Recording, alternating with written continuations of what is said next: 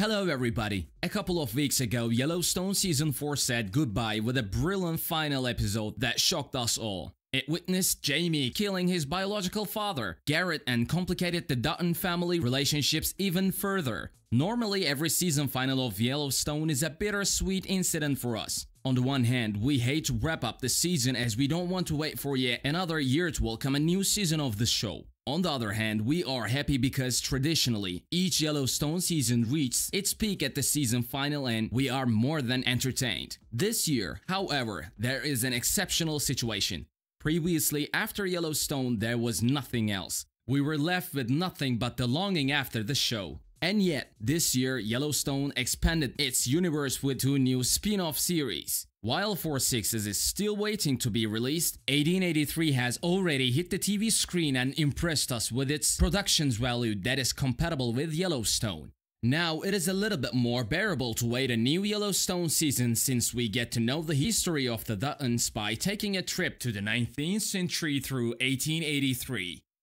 Last week, the show released its fourth episode. In this episode, we watched our migrant group moving across a river to reach Oregon. It was a tricky subject since they were all traveling with heavy wagons that would not be able to survive the depth of the river. Expectedly, Shea and James encouraged the Germans to leave their heavy belongings behind. Their argument was simple. To start over, you need to get rid of the old properties. Otherwise, you would die alongside those properties. It was a life of that situation for the Germans and they had to accept the order even though their heart ached. For instance, a musician had to leave his piano behind, which was a traumatic incident for him as that was his entire livelihood. In the meantime, she underlined that Oregon is so beautiful that it is worth leaving your properties behind and going through all of these. His phrase of Oregon was crucial because the crossing of the river coast even more than those nostalgic belongings. Many people lost their lives while mass graves were dug to bury them. The entire crossing of the river was shown as a montage with Beethoven's Moonlight Sonata as the background music, which made everything even more tragic.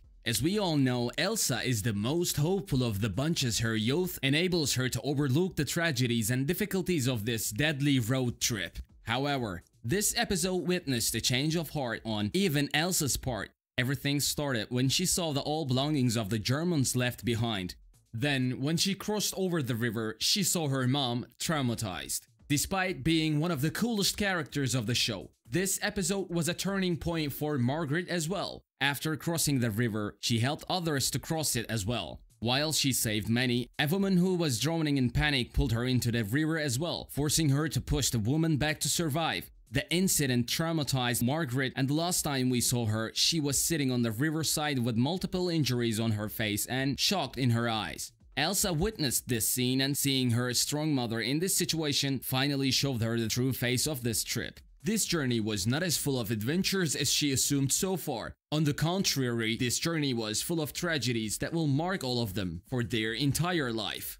In the upcoming episode of the show, which we expect to be released on January 16, we are likely to see even more tragedies that are expecting our group on their way. So far, we have seen them clashing against bandits, dying out of dirty water, be a victim of their intra-group fightings, and failing in crossing a river. While these are some of the common struggles of the era, perhaps the most popular one is still yet to be explored in the show. Yes, you guessed it right. We expect the show to be explored in Native Americans of the era and their interaction with the white people. In the very first scene of the episode 1, we saw Elsa fighting against a group of Native Americans. Now that we are halfway through the show, we expected to see that plotline being developed gradually. We also expect Elsa and Ennis to improve their romance on the way, as the couple enjoys each other's company. That being said, Margaret will probably oppose their relationship, especially after she witnessed so many horrors while crossing the river.